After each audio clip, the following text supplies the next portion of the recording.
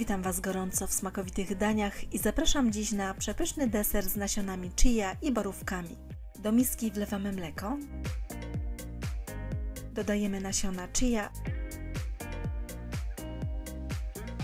oraz miód. Całość mieszamy łyżką, po czym wstawiamy do lodówki na pół godziny.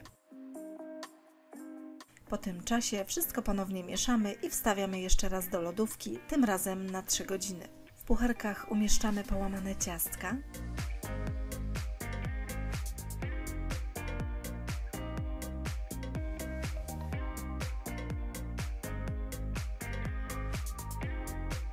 Na ciastka nakładamy masę z nasion chia, a wierzch dekorujemy borówkami amerykańskimi i melisą.